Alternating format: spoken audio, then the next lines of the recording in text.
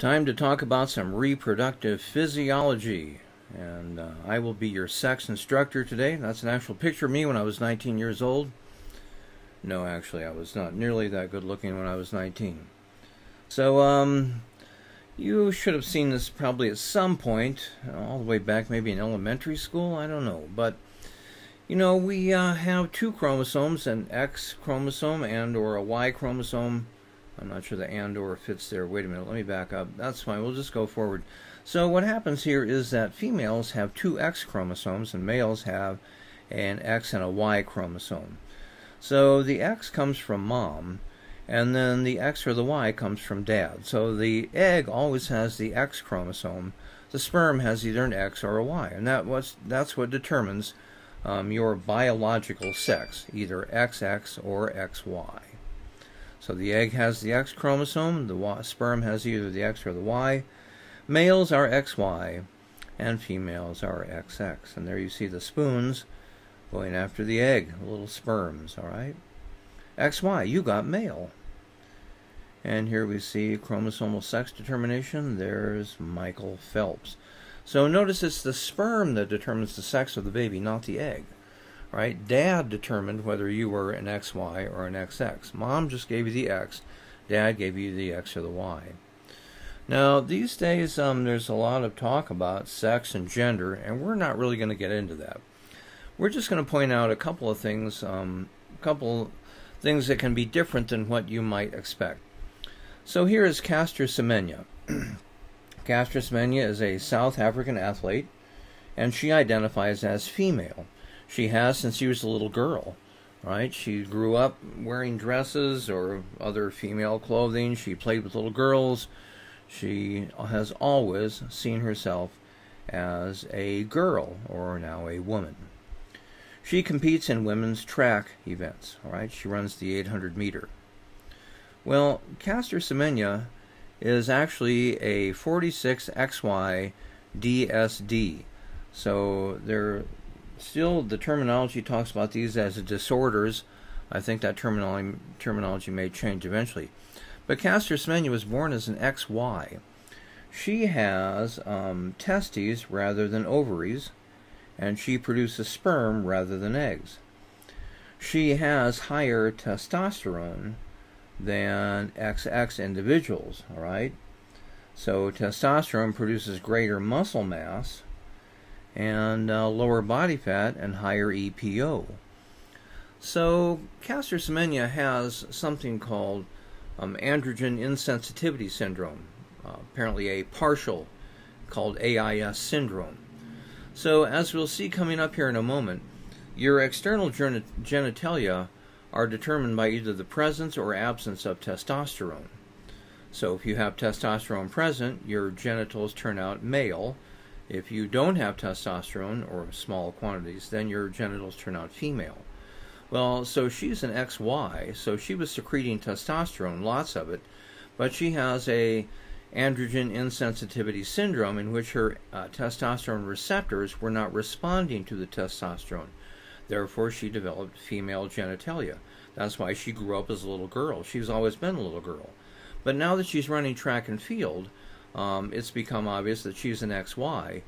She has, again, the higher testosterone, greater muscle mass, lower body fat, higher EPO. And um, there was some controversy because some of the female athletes, she was running women's track event. She was competing against XXs. And some of the XXs said, hey, this isn't fair because she has more testosterone than we do and she's partially responding to it. So she has an unfair advantage more muscle mass, less body fat, higher EPO. So this turned into a big mess, and it finally went to the Court of Arbitration for Sports. And they ruled that in order for her to continue competing against females, she would have to chemically lower her testosterone levels to be in the normal range for XXs. So you may have heard of this before. This was very controversial at one point.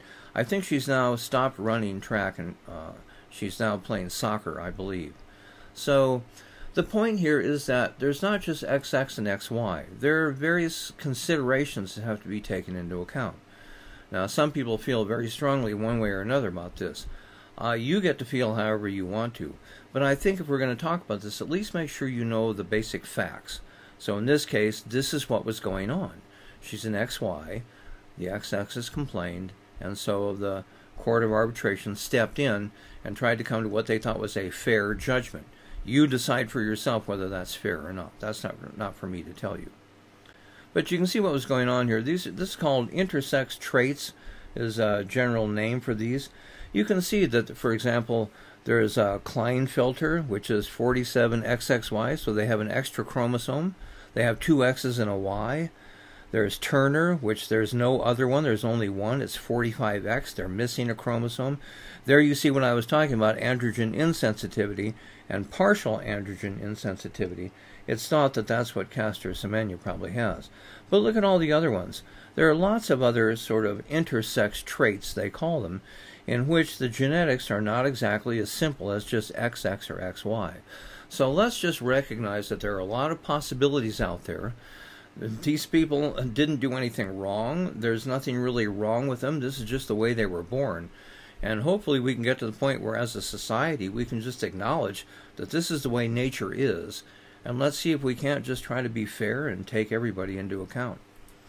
So, you can see here, um, these are, as of 2018, these are the best times in the 800 meter for women um, who are XX, and then Caster Semenya, who's an XY. Notice she had the fourth fastest time in the world. All right, and this is when the other female athletes who were competing in the 800 meters said, "Hey, wait a minute, we're all XXs. She's an XY. She's fourth in the world, but that's because she's got more testosterone, more muscle mass, and so on." And you know, you can again talk about that. You can debate that, but one thing to take into account is that uh, among females, Caster Semenya is fourth in the world. Look at her time, 154.25. Look at now the top times for males. Notice the 25th male in the world is 142.81. If Caster Semenya were to be competing against XYs, she wouldn't even rank in the top 200 in the world. So this is why they had to figure out what to do and the International Court of Arbitration for Sports or whatever stepped in and they made a decision. And um, that's just something to figure out for yourself how you feel about this and think maybe about what else could have been done. This is what was done. But hopefully you can at least see why there was some controversy here. If she were having to compete against XYs, she wouldn't even be anywhere near the top. All right, so by the way, she is an, a phenomenal athlete and she's a, a, a wonderful human being. She didn't do anything wrong. It's just she is a AIS male, XY. So sexual differentiation. This is what I was talking about a minute ago. Until week five to six, um, pre-birth, uh, you know, after conception, uh, the internal sexual organs of the fetus are undifferentiated. We all start with the same basic junk, okay? And then again, in the presence of testosterone, our junk develops as male. In the absence of testosterone, it develops as female. So testes begin their descent in week six and complete it during the seventh month. Testes start up inside the abdomen just like ovaries do. Again, we all start with the same equipment. In males, under the influence of testosterone, the testes descend and come outside of the body. In about 3% of males, testes don't descend. That's called cryptorchidism. Um, orchid is the Greek root word meaning testis. So crypt means hidden. So cryptorchidism, your testes are hidden up inside the body.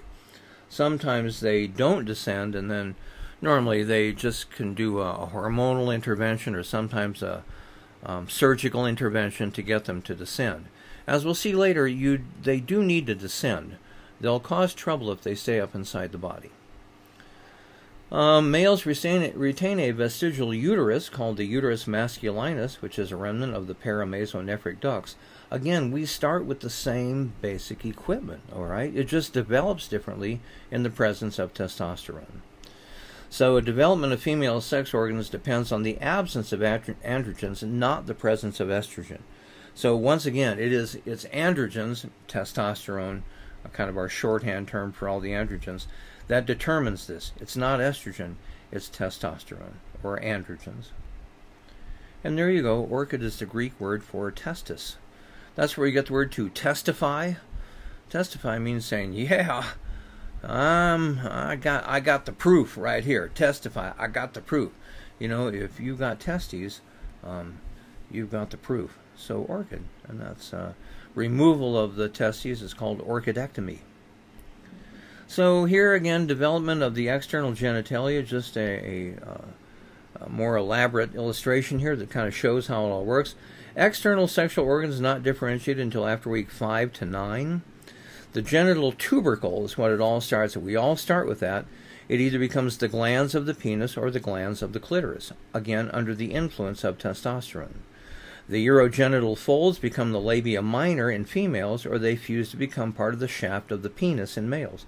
See in the bottom half of the illustration, you can see that happening. And the labioscrotal folds become the labia major in females, or they become the scrotum in males. So as you can see, it's not we're not as different as you as most people think we are. We start with the same junk, and you can still find the same corresponding parts males and females, it's all the same stuff. They just de- develop differently, all right? Masculinization of the genitals occurs due to the effects of androgens. By default, genitals will develop as female genitals. They say nature, by default, makes a female. Uh, we only turn into males, basically, not in terms of genetics, but in terms of development of the organs.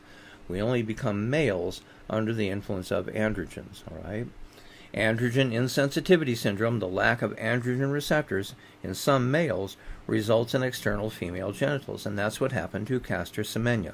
It can be either complete or partial. Hers is apparently partial because she has those high levels of androgens, the testosterone, greater muscle mass, and so on. and there you see just a, uh, an illustration of the way the whole thing works. So, uh, see, we're not as different as you thought. We're all basically the same thing.